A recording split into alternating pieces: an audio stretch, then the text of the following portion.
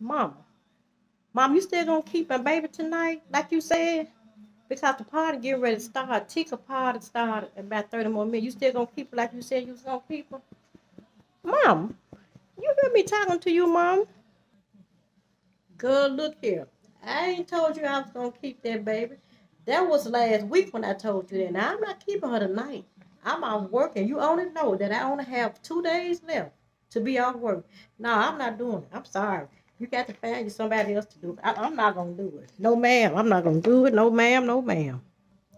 My mama gonna lay her down. You me to lay her right here where you were laying at? Go lay down. Lay down by mama. Lay down by grandmama. Mama be back. Mama be back, okay?